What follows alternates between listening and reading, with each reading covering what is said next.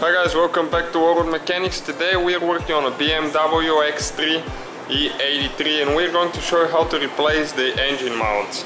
Okay, the passenger and the driver engine mounts right here, we got them pretty inexpensive on eBay for about 100, uh, 100 bucks both actually. They're German made by Hamburg Technik, right there. Quality spare parts. It's not like uh, the original BMW ones, but those are really good too. We used them in the past and they were great. So stay with us to see how we're going to replace them. The very first thing that we need to do, we need to remove this plastic piece right here and we already got it loose. There is a nut here with 10 millimeter wrench and 4-5 screws with 8 millimeter socket or wrench right there. So we can get more access to the engine bay underneath. And now we need to remove the plastic right there underneath with pliers you, you put the clips like that, the, the centerpiece comes out and then the, the whole clip comes out of there. There is two of those and and now with a 16 millimeter wrench or well a socket will be more convenient in our case and a ratchet right there we're going to remove this cross member piece right here that metal plate it has four bolts holding it, two in the front and two in the back. So we can get more access and reach the engine mounts. We will be doing almost everything from underneath the vehicle. So you either need to put it on, drive it on the ramps and put jack stands underneath it. Like that, as you can see, safety first, so we have more room to work on things. And after we remove the metal plate and you can see how much more room we have the front differential there. And this is one of the engine mounts right here and the other one in the corner right there. Okay guys what we need to do next we need to remove the airbox so we can reach the the driver side engine mount so we can get the the center nut loose. So what we need to do we need to undo the clips like we're going to replace the the air filter. Okay, there is two on the back and one right here. Like that. Okay, and one on the front. And now, what we also need to do right here? We already did that.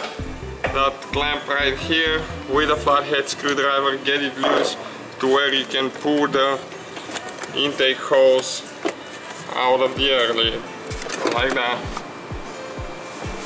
And now you just pull it out of there. Like that careful for the wire okay? It's still attached here for the mass airflow sensor. We will not even need to remove it because you can just put it right there on the side of the engine.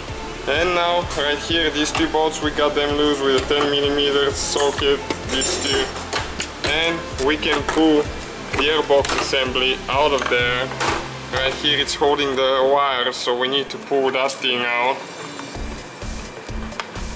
Okay, you just pull, pull it up. And now the air filter box should come out of there like that and you can see all the room that we have now. Okay, so right here now on the on the passenger side okay 16 millimeter socket with long extensions very long extensions. And right there you see that's the engine mount right here. And you can get the socket on it 16 millimeter again. And we can take the center bolt like that the center nut the big nut. Okay those are very tight usually. And that's how we remove it from the top on this side because on the bottom you don't have room to get it and it's very tight so you cannot do it with the little ratchet.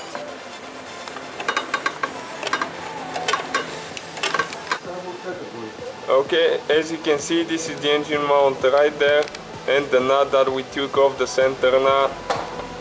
Okay, right there. Okay guys, so we took the center nut off already and oh now right here what we need to do we need to put the jack underneath the engine right there with a wood bulk never use just the jack because that aluminum everything's aluminum underneath and you don't want to punch a hole in anything. And we need to jack the car up, like the engine up, only the engine, not the car. Be careful, just a little bit, until the engine, engine mount comes out of that bracket. Okay, so now we jack the engine up just a little bit to support it and right here we have two bolts. That's the, old, the, the new engine mount just to show you and that's the socket that you need Torx E10 right here. That's what it looks like. So you're going to do that underneath the vehicle but I cannot make a good take a good video right there and let me see one is on the inside and one is right there under this wire. Okay right there. We can reach a little bit better now. So you need to take both of them completely off. Okay and you can just use the socket in the end because if you use the ratchet it's going to get stuck there. It's limited room and the more you unscrew the bolt the more it goes up so it's going to block your ratchet and now we need to do the one on the right side on the outside of the engine mount whoops that's for the blooper section.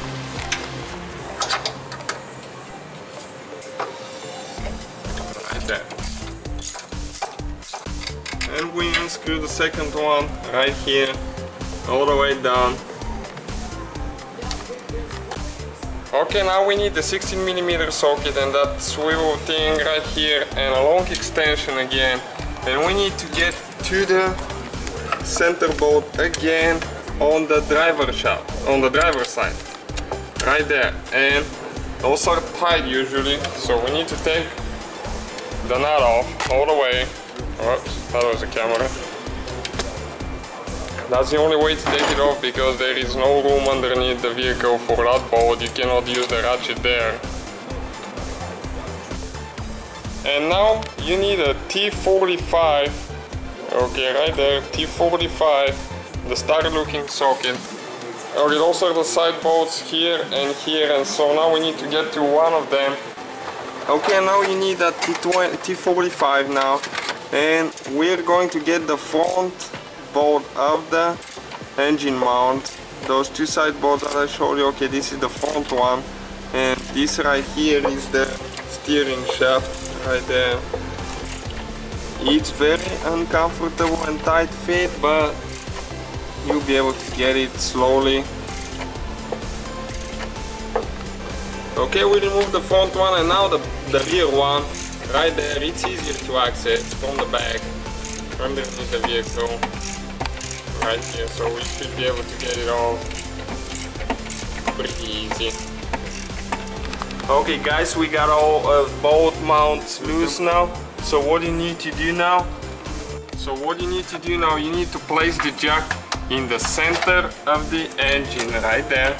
And you jack it up as you can see the engine is going up so we can get the engine mounts out okay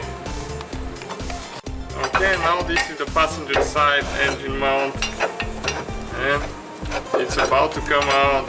You might need to pump it one or two times. Okay, right there. This is the mount. And as you can see, this one is completely gone. You see all the play? It was vibrating like crazy.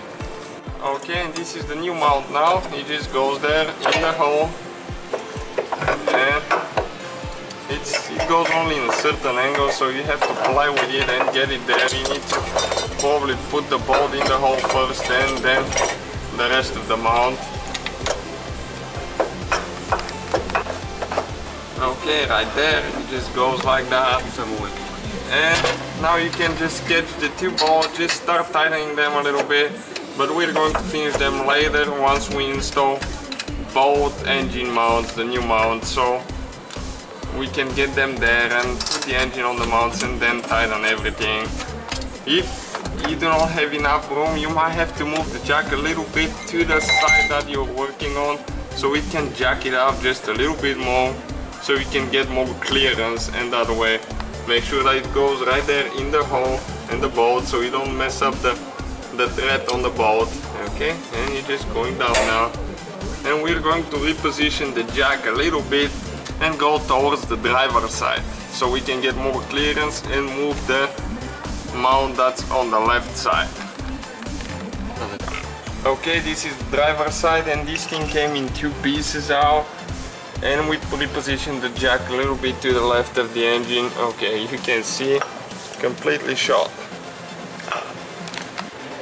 Okay guys, we got the new driver's side engine mount in, but this one, this one is very complicated. The right way to do that is you need to drop the subframe a little bit so you can actually put the uh, the engine mount right there. But what we did, we unhooked the steering wheel right here, and as you can see, the steering wheel is down there, that, that pipe. And the way we unhooked it, we just dropped the engine mount from here, from the top, and we dropped it in the in the hole there. And now what we need to do is just put the bolts, the two bolts and the nut, and we need to put the steering wheel back together. It's the right way I said again is probably to drop the subframe on it right here, but it's a lot of work and we just messed with it. It took us about half an hour, but we got it there. You can find on the forums maybe more information and see how other people did it but it saved us quite a bit of time doing it that way so all, we, so all you need to do now is just put the, all the bolts on the engine mounts and nuts and tighten them and put the airbox back together and that's the whole procedure. Thank you guys for watching us. If you have any questions let us know and don't forget to subscribe to our channel for about 5 new videos every week.